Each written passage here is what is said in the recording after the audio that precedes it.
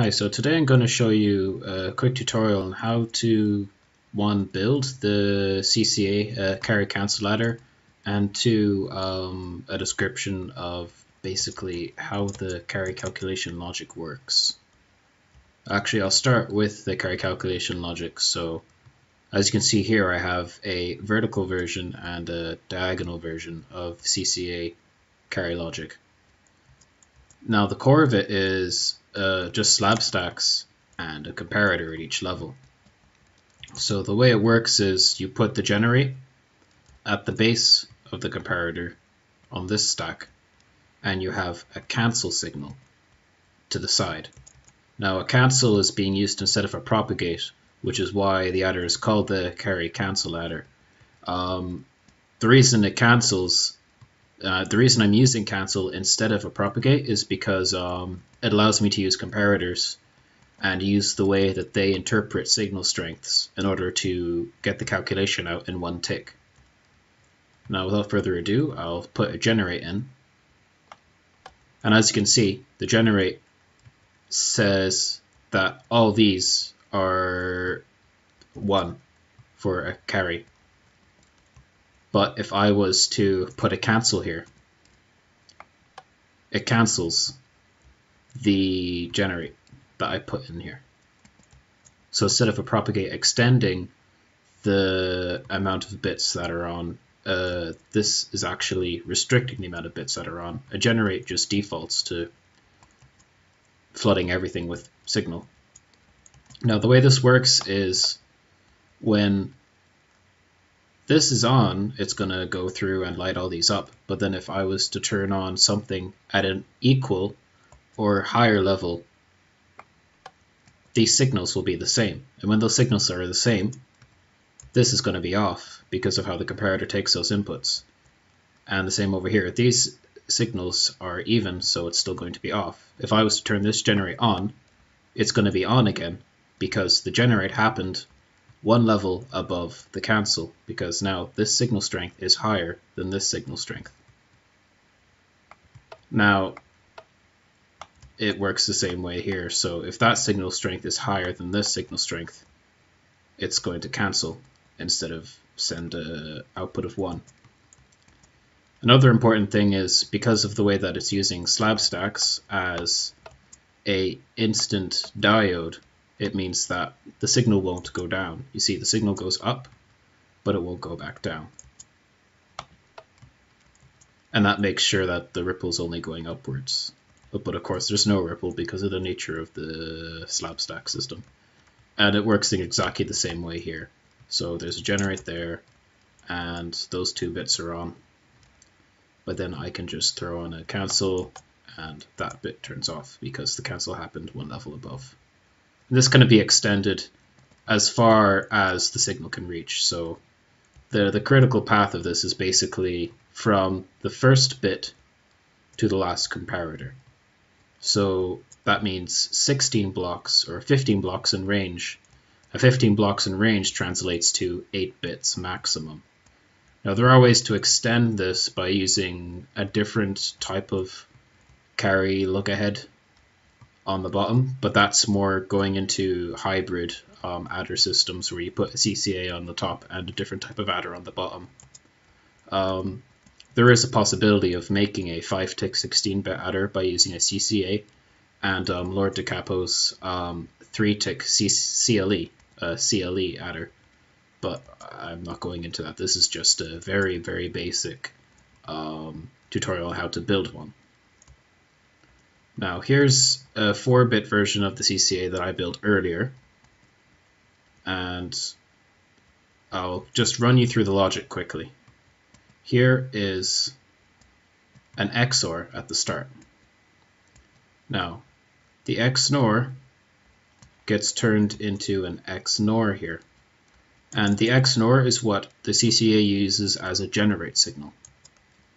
If you know a bit about logic gates, you'll realize that an XNOR will still be on if both the inputs are off, which you might, which will make you think, hey, but wait a minute, that means that it's sending a generate when both bits are off, and that's not supposed to happen. But keep in mind that the cancel signal is a NOR, And the NOR is on when both bits are off, so it actually sorts itself out. The cancel happens at the same time as the generate, and because these happen at exactly the same level, oops, because they happen at exactly the same level, the output will still be off. And this is basically how it all goes together. And of course, the XOR is extracted here to be XORed with the carry calculation over here. And I won't go too far into it because this is just how all adders work, where, you know, if you have a carry calculation that comprises all these bits, that carry calculation output will be XORed with the result of the two bits that are directly above. So that's how why you can see that this XOR is being pulled down below and put into this XOR here. And that would light this up. I'll just show you quickly. Um, here is, well, I'll just do an overflow first. Do a little C out. That should have the top bit on there. And as you can see, because all these have at least one of the bits on, the NOR is disabled, which means that all this gets the signal from the generate that happened at the very bottom. So you see, this torch is actually the only one that's on in this situation. All the other torches are off. And that torch is on because we activated a generate over here. And then these are all just uh, what would normally be a sending a propagate signal in other types of adders, but in this case, it just does nothing. It does turn off this NOR though. And that's how CCA handles what RIP would be in a Ripple carry adder. It just throws all this stuff up on the slab stacks. And I'll just run you quickly through, oh, actually, here's the CN. Same thing can be done with the CN here. You see all those turned off, that turns on. I'll tell you the exact timing for the CN afterwards. Uh, first, I'll just run you through this logic here. So XOR, then there's a NOR and XNOR happening. I put a repeater here because I wanted to time this exactly with that. As you can see, the NOR is only one tick, so one tick plus the repeater makes it two tick. The XNOR, the, the fastest possible XNOR is two ticks, so that's that sorted over here. And then that's two ticks there accounted for. Here's the comparator, the comparators that do the carry calculation. That's one tick. Then here is my special XOR design. You can use any XOR for this really, but this particular design allows me to make the carry cancel adder a four tick adder. And there is a certain design that um, MBZone and I helped with. Um, and this and that particular CCA design is actually, um, I'm pretty sure it's the smallest four tick adder, um, four tick 8 bit adder uh, ever made. Of course, someone can correct me on that, but I haven't seen anything smaller. I can show that at the end of this video. So that's the special XOR, which basically is using a comparator here and some other stuff. I would explain that, but this isn't really the place to be explaining um, XORs. I'm explaining the carry cancel adder. All you need to keep in mind is you can just replace this chunk with your own XOR. Now the output is pretty self-explanatory. That's it. So one tick there, one tick there, two ticks over here and then the XOR can be timed a lot easier because of the amount of it doesn't have as much logic to go through to get over here. And that's the basic workings of the CCA in a nutshell, really. Just have to remember generate stack takes XNOR, and the cancel stack takes a NOR. You can also use an AND instead of XOR, XNOR I mean. Instead of XNOR you can use the AND uh, bitwise operation. Uh, and that's actually what I used to use before I realized the XNOR could be used in its place. Because it's much simpler to implement. And now I'll just quickly show you um, some of the uh, main CCA designs. This is just one I whipped up quite quickly. Um, warp CCA. Here we go. Here is one of the earlier designs. Um, it's a 5 tick, but I made it 4 wide. It's a little on the long side. Um, and as you can see, instead of that weird XOR, like this one over here, I used just um, this type. Same type I used at the front. So if that helps you visualize things better, there you go. And here is the very first um, four tick carry cancel adder design that I also designed. And yeah, that's it there. It's a bit chunkier than the current one I was showing you earlier. And here is what I'm pretty sure is the smallest one, 4, wide 4 tick CCA, compacted by MBZone. And uh, I, I came up with the furnace comparator idea. Pretty proud of that. And this, I'm pretty sure, is the it's the smallest um, 4 tick 8-bit adder. There is a slight problem with this particular design though because signal strength output is only 1 on some cases. I'll talk about the signal strength problems in a minute after I go over this final design. This design is what I use in my um, ALU, uh, my data loop even, that I'm going to be using for my new CPU. This particular adder has four signal strength out, so I have plenty of space to connect to other parts of the data loop. For example, by using a torch-based um, right shifter, um, it, it, it really helps with speed improvements. And now I'll just do a quick run over some of the problems with signal strength, which has been somewhat remedied in this case.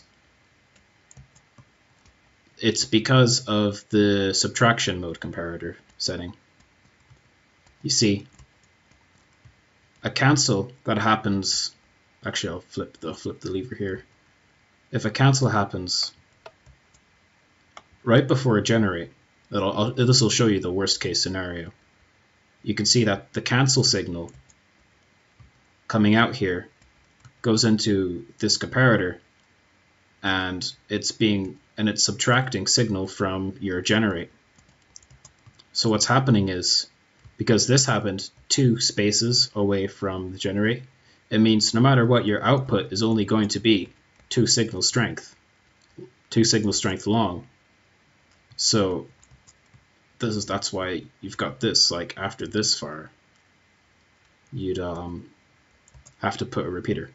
Actually no, in this in this particular design I'm using uh, an amplified XOR so that doesn't matter. But for this for this design, that is a problem.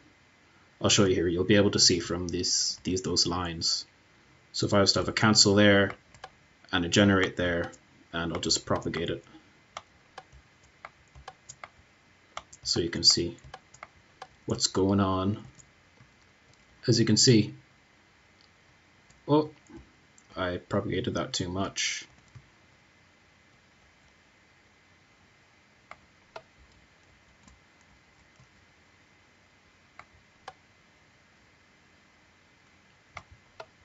Yeah.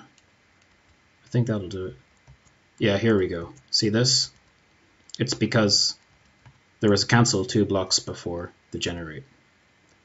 And then you only get two signal strength out, like that's this is zero. Nothing's coming out there. But there's signal there.